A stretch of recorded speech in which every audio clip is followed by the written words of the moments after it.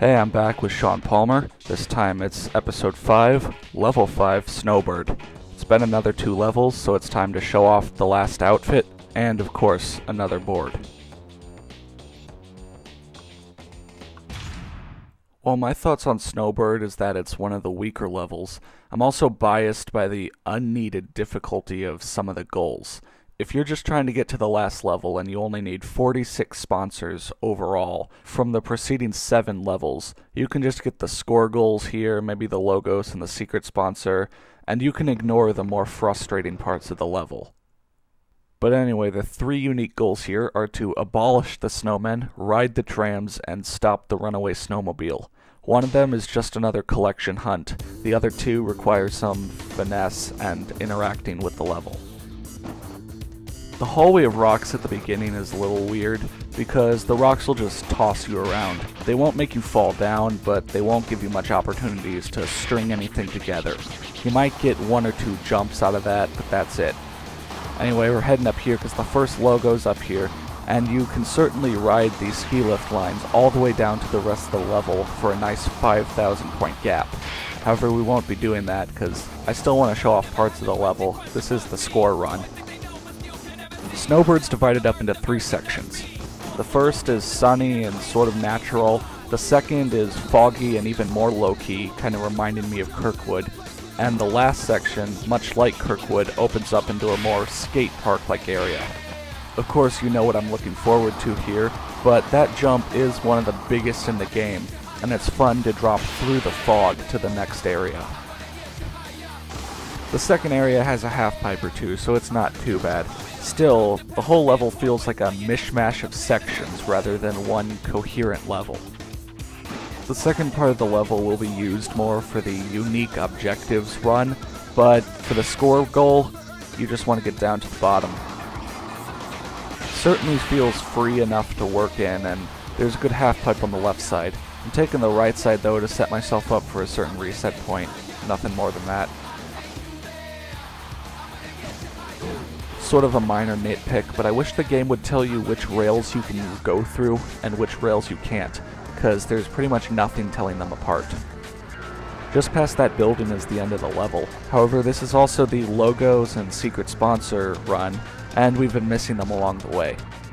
It's a little awkward to get a lot of points while going for the third and fourth logos, so the first rundown I really just wanted to get the majority of the points out of the way and I only wanted to reset once at most. Didn't want to drag this run out too long.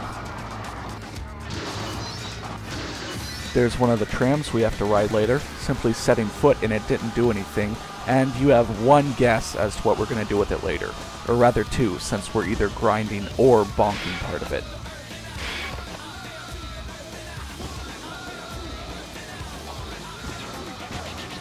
If you're not here for the third logo, the left side of the second area is pretty desolate. Again, if they'd added more challenges, even easy ones, and put one over there, it'd give more reason to go over there. Up here is an area we can only get to by following the left-hand side of the previous section. Grinding up this tree and dropping onto this wire gets us on top of the house where the third logo is. See, if the logo wasn't up there, there'd be no reason to go up there. Jumping over the half-pipe to the right side lets us take the ski lift reset point. It is a bit odd to have two reset points so close together, but this one's shorter and drops us off at the start of the third area. I'm not sure where the wire comes from that leads to the secret sponsor, so I get it by doing a big ollie off the yellow and black snow pump, caution, ramp. Anyway, the fourth logo is on top of the ski lift. We get there by grinding a combo of rails, but then we need a couple extra points to achieve the six scores, so I get that right before the end. When I say the level ends right after that building, I don't mean right after that, but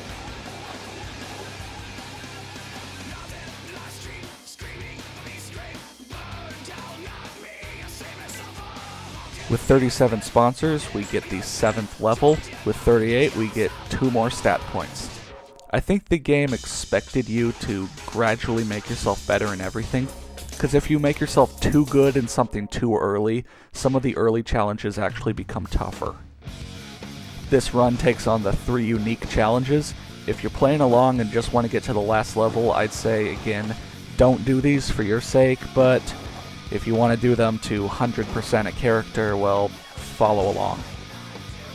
Actually, abolishing the snowmen isn't that bad, you're just smashing them, and the other two won't take you all day, but they're just a bit too based on luck.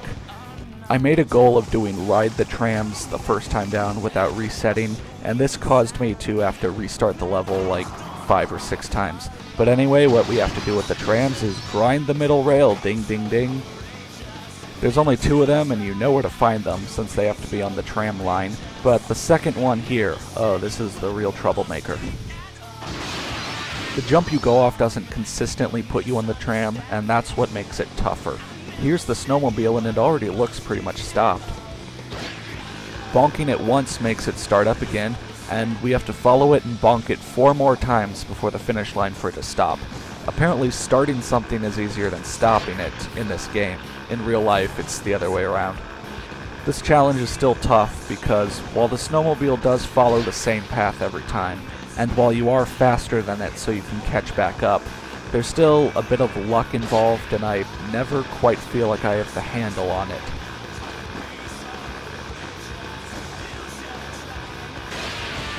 The game's auto lock will help you out, but I find when I do the goal, I stop it either really quickly or right before the finish line. Either the bad keeps piling up or it goes smoothly. What doesn't go smoothly here is, well, this.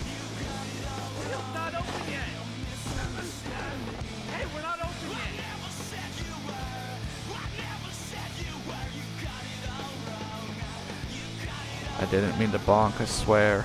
I just wanted to hit the other rail. But there's another reset point here right before the end that takes us back to the top, and we needed to go through again anyways. So if those two challenges didn't seem so bad, then of course go for them. Again, maybe I'm clouded by trying to do them both in one run. And with the Ride the Trams goal, if you're just going for that and you miss, it's quicker to restart and go from the top, but that's still 40 seconds or so till you get to the first one. In other games like this, again, Tony Hawk or Dave Mirra, you could spend a little bit riding back and setting yourself up again instead of waiting until the game will send you back. I kind of accentuate the negative in general, so maybe there's not as much of a problem, but you also want to remember these videos don't show off as much of the flaws and times I miss something awkwardly and restart. Well, back to the snowman hunt. In the second part of the level, this time stay to the right, because the fourth snowman is by the red shack. He will probably be your missing snowman that you'll stumble upon accidentally, but when you know where he is, getting him after the third snowman isn't that tough. The fifth snowman, as we've seen, is on a bridge connected to the main ski lodge, with not enough time to go all the way back up and down again, I make sure I get him this time. Moment of truth, guys. Moment of truth. Alright, to be honest, all you need to do is slow down a bit and not get ahead of yourself, and he shouldn't be a problem.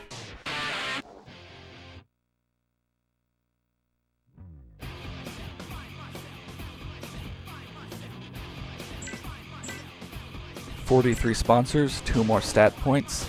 Simply looking at the stats left, after this we'll have 4 more blocks of 2 scattered throughout 3 levels, seemingly. If you just do the math in your head, then uh, the amount of times we get stat points will probably drop off. So make sure you're well-rounded and ready for everything. Of course, this is the speed challenge for Snowbird. In the last video I said our character had maybe one of the lowest speed stats in the game, I said there might have been other characters as slow as him. There are not any other characters as slow as him. In fact, he does have the lowest speed in the game, so if he can do the speed challenges, any other character can. Of course, it also depends on the player and the route, and Snowbird is pretty much in a straight line as well, so stick to the left in the beginning area to avoid ramps and trees that might slow you down. There aren't many shortcuts. If you wanted to, you could probably ride the tram rail all the way down from the beginning to the end. That's the straightest line you can get, but I don't know if it would get you that many points, and I don't know if you could keep your balance that long. If you are on the ground, stay to the left of the second area. The final area sort of curves a little bit to the left and then back to the right, so if you're on the left side, you can stay in a straight line. As you saw, the jump down to the last area is a bit tough. Then again, I might not be saying that if I hadn't crashed then.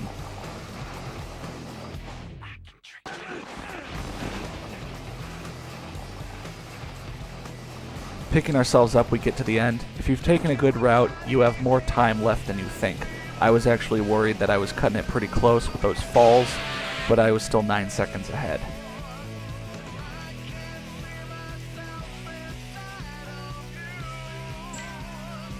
Continuing the tradition, getting 9 more sponsors than the previous board gets us the next board. However, that's it for Snowbird. Make sure to join me next time on level 6 when we go to Squaw Valley.